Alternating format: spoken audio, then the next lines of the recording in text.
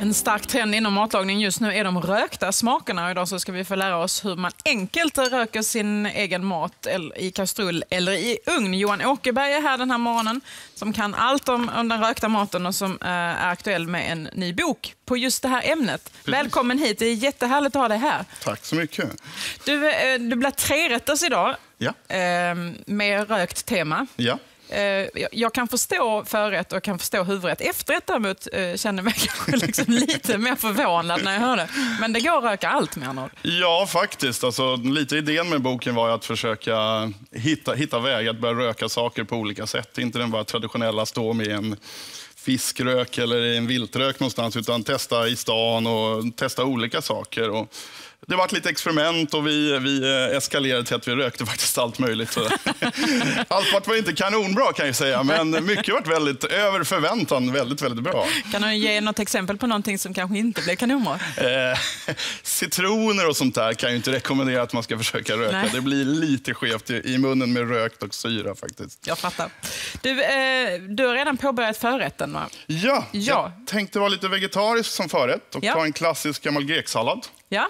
Eh, och sen eh, röka fetaosten. Ja.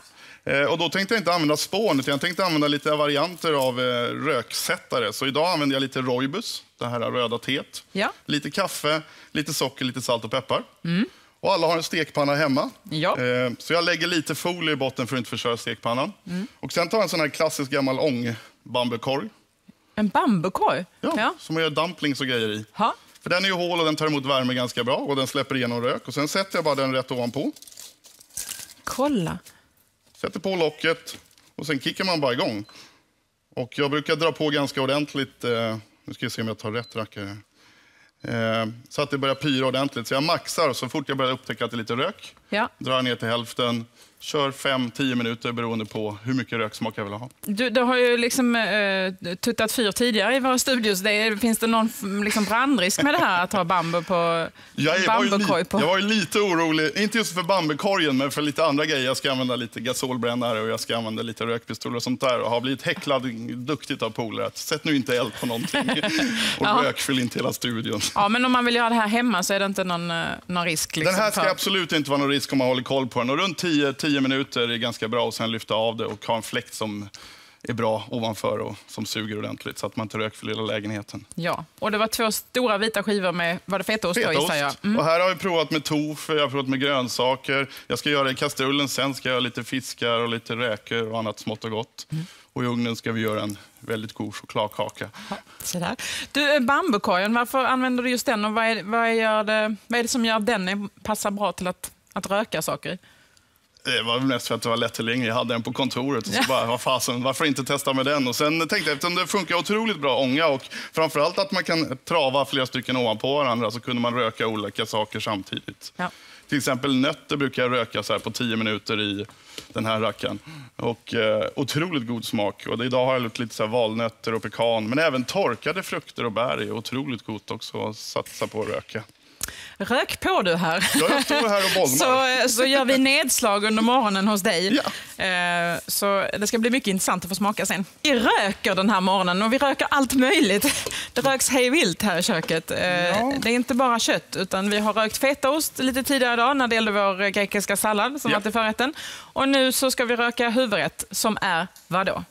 Jag tänkte eftersom det är flera som kommer att vilja äta här så tänkte jag vi gör lite plockrätter. Ja. Eh, och då har jag dels en räka som jag har marinerat med lite chilisås.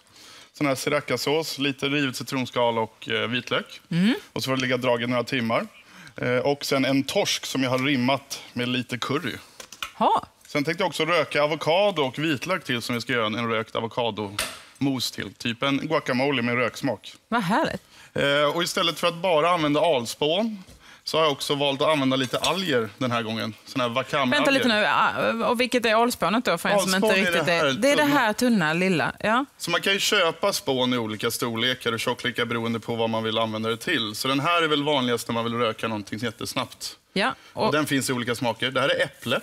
Äpple? Eh, och den är ganska bra att ha när man grillar eller röker i grillen. Och lötlägg gärna dem en 20-30 minuter innan. Mm. Det här är bok. Mm som också, också blötläggs innan och sen lägger man på kolet eh, när man grillar eller i eh, eldar bara med den. Sen kan man göra lite larvigt vid bordet Ja. och lite show. Har man varit på vissa restauranger så kan man råka ut för att man får en halmbal framför sig. Ja, prova inte det hemma känner jag. Nej, Det det blir farligt väldigt ut. rökigt, Ja, det kan jag tänka mig. Så det här sättet som jag gjorde med bambukorgen är ungefär som en sån klassisk AB-rök. Som är en, nu ställer jag upp en sån där rackare som alla har sett förmodligen.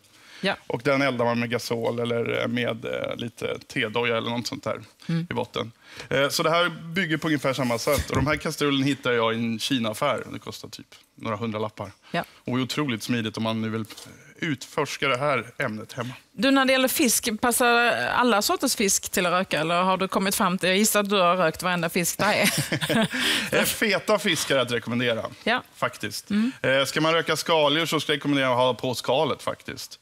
Eh, Det här är ett jättesmidigt sätt om man vill göra såna här snabba, enkla rökta räkor. Ta dem frysta, lägg i en sån här bambukorg eller en sånt här. Ja. Lite spån i botten och sen när det börjar ryka, ta tio minuter ungefär, dra åt sidan och sen när röket har stillat sig så har man nyrökta räkor. Häftigt. Slipper man åka till västkusten. Ja, exakt. Jag Så tittar, de går att sätta som en... Ja, Kolla. så här kan man ju bygga vidare så har du ju rök. Kan du Har du tuttat fyra nu då? Så att det Nu är... tuttar jag inte fyra, utan nu Nej. pussar på. Då är det bara Nu att dra på full, full macka här. Ja. Ehm, och sen när det börjar ryka, då drar jag ner till halvfart. Kommer vi få se utvecklingen här nu? Eh, det går lite långsammare. Nej, det den går lite långsammare, här, Så ja. jag får nog vänta, vi får hojta. Ja, det är ingen induktion Du alltså. får börja lukta. det är någonting i görningen. Du, eh, om man skulle vilja använda sånt som man har hemma och inte vill köpa nya kastruller och nya grejer och sådär. Klotgrillen till exempel, är den, eh, Magiskt bra. den är magiskt bra. Den Ja. har ju många. Ja. Eh, jag brukar rekommendera, eh, använd briketter. Ja. Till att börja med, om man, speciellt om man vill röka lite längre tid. Om du ser den där klumpen, Den här svarta. Den svarta som man tror är lite bränd, Ja. det är patina. Den har gått i sju timmar på runt 100 grader. Och då lägger man briketterna lite på sidan i klotgrillen och sen har man sån här lite större spån som man har blötlagd och så fyller man på vart eftersom så får man kontinuerlig rök. Ja. Eh, och det är bara att tugga på. Ja. Pulled pork är bra att göra så. Pulled pork också. Ja, men det är fantastiskt. Det är jättebra. Ja, eh, stup på där kan man Ja. på så eh, följer vi upp eh, lite senare den Ja. här morgonen. Jag hade hoppats vi skulle få se rökutvecklingen, men det gör vi inte. Inte, Nej, inte riktigt nu. Nej. Titta, så kan jag berätta att vi röker i studion här. Vi röker allt som går att rökas, känns det som. Fast alltså, vi går inte till ytterligheterna, Johan, men ändå. ja, Nu ja. ser det ut som att du har ett instrument i handen som ser livsfarligt ut. Men... Ja, nu, nu ska vi sätta fart på lite, lite, eh, lite äpple och al här. Äpple och al, Eh, det kommer låta som fan. det är lugnt. Och vad vi vill göra är att sätta fart på lite träslag så att det börjar brinna lite smått. Ja. Och sen tänkte jag slänga in den här i ugnen. I ugnen? Där jag har en chokladkaka som ska få lite röksmak. Aha. Så när det börjar bli så där. Så tar man bara vägen hela vägen och så blåser man ut och börjar ryka som sjutton. Vad tycker ugnen om det där? Ugnen gillar inte det här så mycket, men kakan gillar Men kakan gillar det. Och vad händer med ugnen om man ska sen dagen efter göra någonting till svärmor som ska eh, dofta blir li- äpplepaj? Blir det lite röksmak? Lite rökton sitter i. Alternativt så drar man av den efter den har kallnat. Så får man bort lite röksmaken. Ja, just det. Sen tänkte jag röka grädde här. Jaha, Och då har jag en riktigt nördig grej som heter rökpistol. okej. Och där kan man göra med majonnäs, man kan göra med smör, man kan göra allt möjligt. Så det blir som en kall rök som man drar in här då. Så jag har lagt, hällt i grädde, tänder eld på äppelspån här uppe. Och så är det en liten fläkt här, som typ som en bak och fram. En liten hårtork. En hårfön, ja. Fast, Ja. alltså, sätter det kolla. Det ser ut som det läcker ut ganska mycket, men det gör kanske Men ingenting. det gör inget. Så kan man göra det här två, tre gånger tills man är nöjd med röksmaken. Så blir det en rökig grädde sen till. Så drar man ur den här rackaren. Är det vispad grädde eller är det ovispad Det är grädde? ovispad. Det är ovispad. Så jag brukar göra så här en gång och så lägger jag på locket så kan det stå ungefär 20 minuter i kylen och så tar det åt sig av röktonen och sen kan man göra en, två gånger till tills man är nöjd med sin röksmak. Så sjukt nördig grej, kan man göra allt möjligt konstigt med. Jag var skeptisk till att vi skulle röka även desserten. Jag tänkte hur ska det gå till? Men det funkar tydligen. Det funkar, det pyr där inne som du ser inne i ugnen där. Ja. Så det är en riktig dimma där inne just nu. Det är riktigt smygelytsen. Men det brukar bli vansinnigt gott. Det blir skitkul för kocken som kommer imorgon Ja, som ska göra någonting i den ugnen. Ja. Ja, jättebra, vi återkommer Johan eh, till dig lite senare. Då ska vi börja smaka av den här trerättersmenyn som du har gjort i rökig form. Eh,